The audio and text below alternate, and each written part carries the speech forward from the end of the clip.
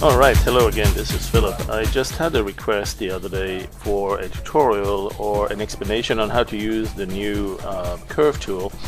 And it's really not that new, but it has changed. And if you had in the past used an earlier version, let's say a free version 1.2, Project Dogwaffle, even PD Pro 3, 4, uh, 5, and even 6 when we started having the Howler edition and the Artist edition, uh, it was still the old style curve tool.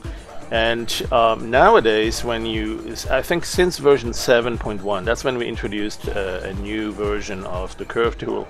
And it has evolved quite a bit. So when you click it, you'll see an extra bar here, what, which we call the context bar.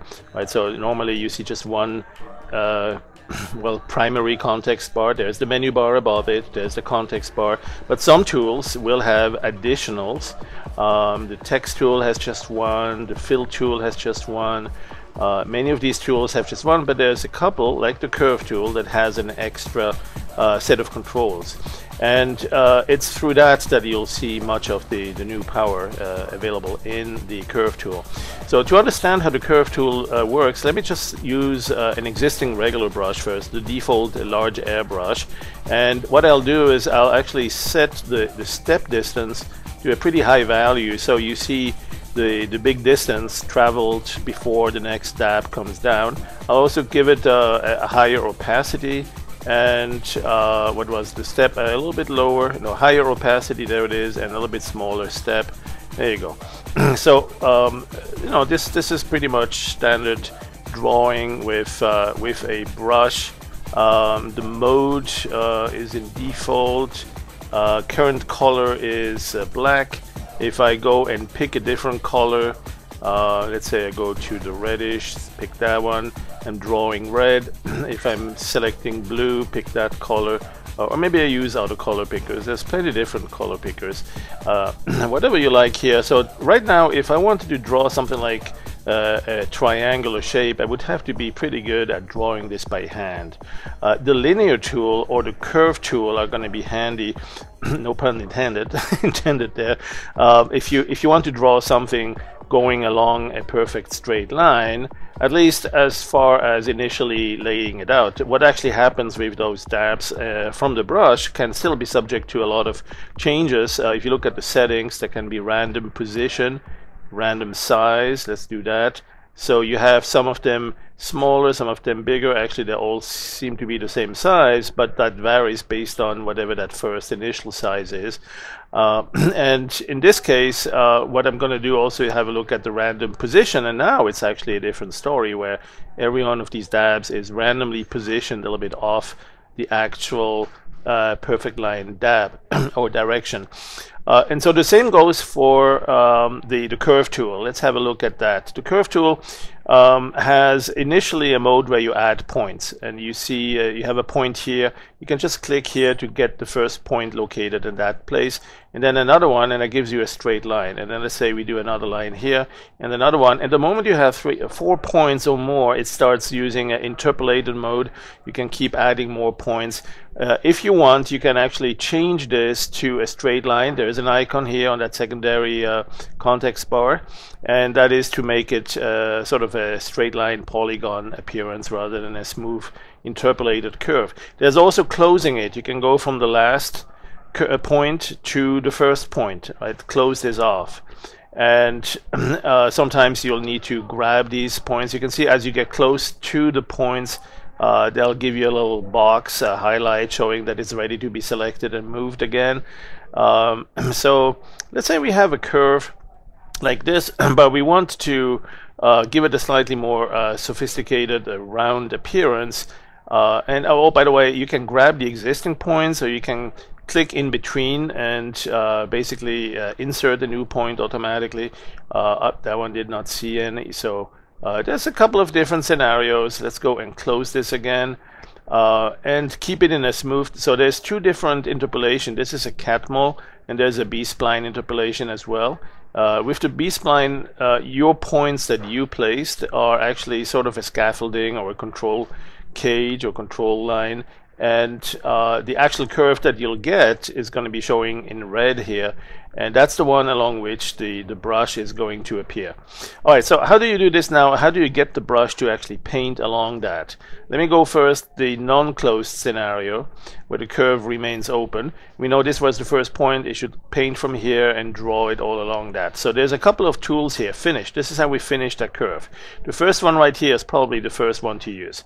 And there you go. It, it's randomly positioning it randomly sizing it and it goes along that path uh, as we as we render it. And so, for instance, if we go and change the settings to say no random position and also no random size, then uh, clicking this finish will basically have the dabs appear in a sort of somewhat more predictable way going in uh, along that curve.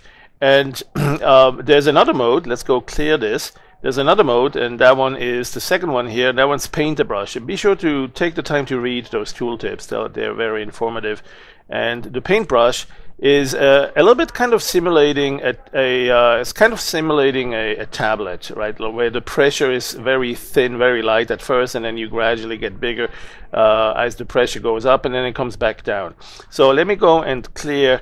Uh, these couple of icons here are here to clear the curve I'm going to go clear the image and then I'm going to go and clear uh, and start a new curve and this one here is just going to be something like a W shape something like that. Okay. And that shape if I if I want to actually draw it rather than click a couple of points there's this option here right? Freehand draw curve. So I can go and do something like this. But that's just defining the curve that's not yet painting it, right? If I once I have that curve, I can actually make some changes to it.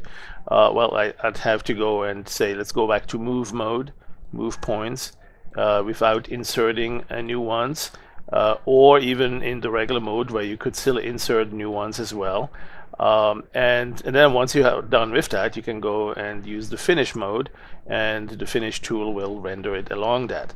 Well, it would be nice if we could actually see that happen automatically at the end of the curve, right? When we do this draw mode, this one here, where we uh, kind of smooth curve it and have it automatically render the moment we release the button, the mouse button. When, when we're done drawing that curve, to have automatically the curve being rendered, the, the dabs appearing along that. So uh, instead of doing this manually, or this one where it also changes the size along that path, what I'm talking about is to have this one here, the auto. In this section here, you have the automatic mode, and that's automatically stroke the path uh, the moment you're done. So you draw one and boom, it's done. Draw another one and it's done. So each of those you can also have, instead of the regular draw mode, you can have the automatic uh, paint the brush along that. So it's, it's doing this changing of the shape, uh, the size along that particular progression. All right, so that's one thing to experiment with, uh, the automatic mode. Uh, the uh, non-automatic mode is certainly very uh, desirable too, very powerful. And so when you draw a curve like this and then you say, let's go render it, uh, that's a a great way to create fairly sophisticated shapes actually. Uh, like for instance, let's go clear this and uh, say we, we're doing some sort of a uh, curve that's like self-intersecting. Let's go something like this, go kind of a butterfly shape and perhaps this one needed to be around here and then we go here and this one needed to be about the middle and then we close it. All right, so we have sort of a, a butterfly uh, profile here or outline. Um, and, and now I'm going to go with the curve, but not with the dabs. so I want the step distance to be a little bit uh, closer. And you know, just the original, what was it, about 7 or 6. And back to the curve. The curve is still here. I can render it along that. There you go, finish it. And so that's doing this. And now I'm going to change color and I'm going to change the settings, the size of the brush. Actually, I don't have to go to settings for that. I can see it right there.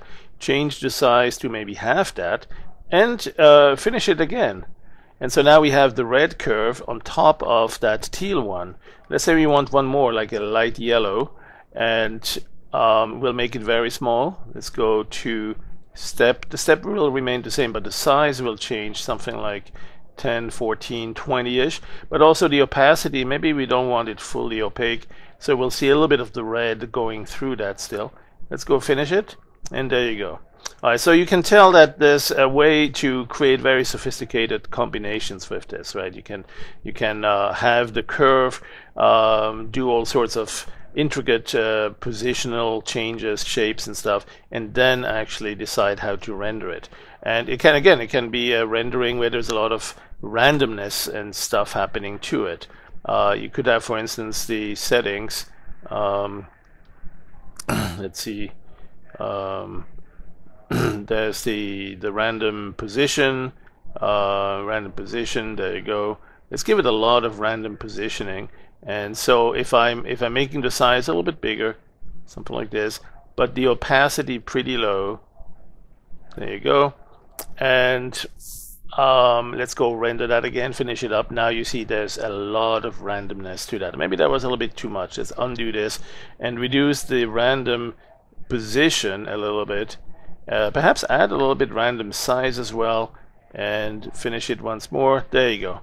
All right, so that's kind of an idea of some of the stuff you can do with the curve tool. Many times you might want to temporarily store that curve. That is a new feature in version 10. Uh, you can see under the more options here, there's a couple of things to do uh, relative to drawing the curve or animating it. If you have actually a placeholder for an animation, if you have created a bunch of frames, you can animate this. There's also uh, the roto tools here to do uh, um, uh, rotoscoping and tracking uh, the movement of uh, the background and then having perhaps uh, uh, a matte or something, a blur rate and stuff like that. oh, here's the draw curve, right? So you can store that curve, not draw curve, store curve.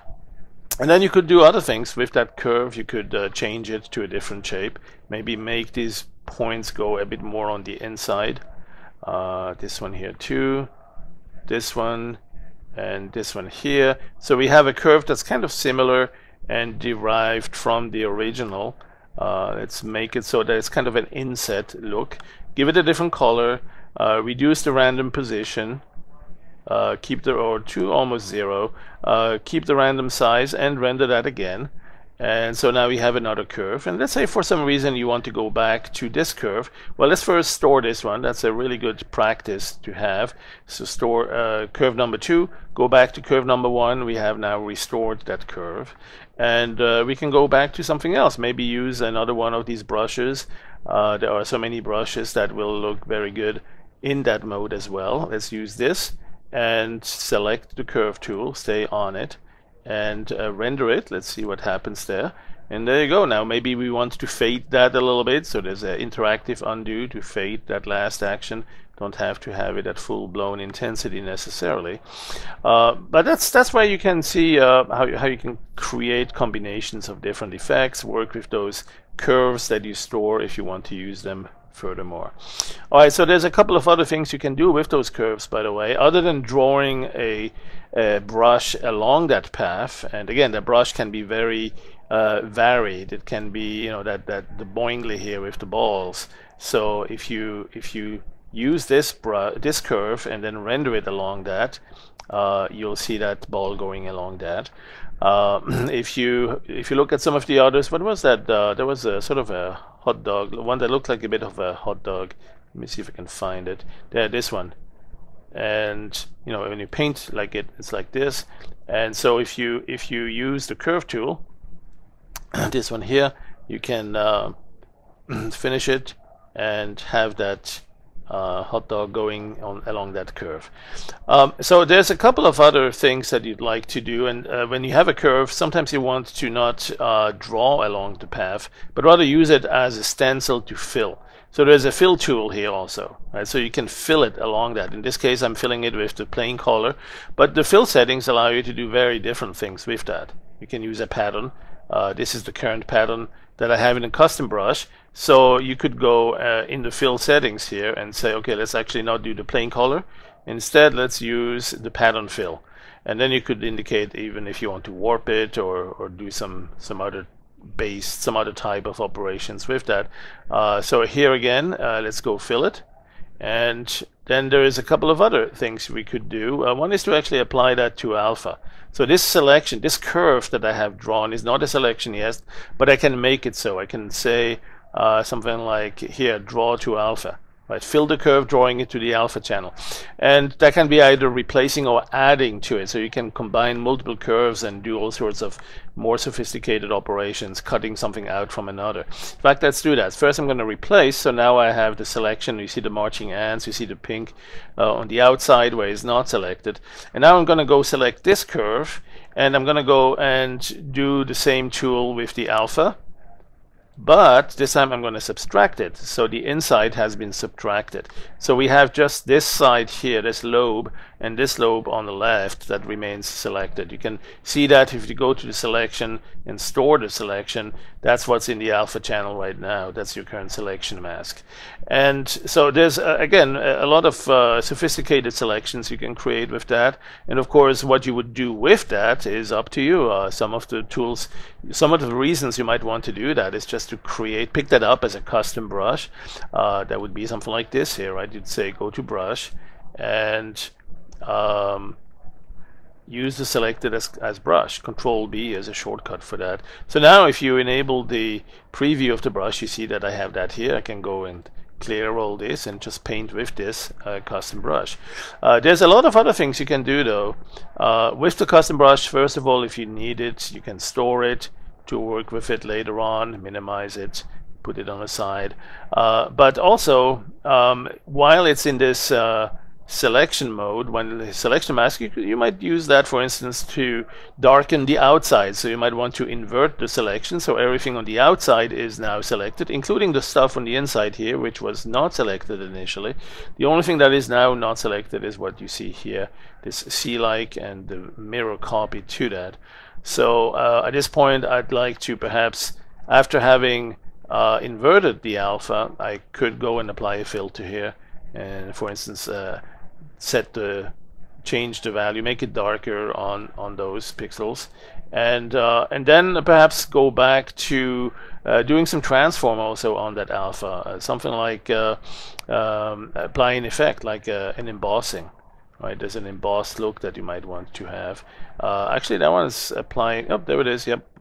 So if we clear the alpha now, uh, you now have a bit of a coloration that looks like a, a, bit of embossing. So there's a lot of different things you can do with alpha in the first place, and the curve really, the curve tool really is a tool that can be even more sophisticated in the results, uh, giving you different ways to combine multiple curves and uh, create uh, perhaps some sophisticated logos or cutouts or shapes that you use for uh, who knows what. I mean, it could be again just a brush that you you paint with. You might want that brush to cast a shadow.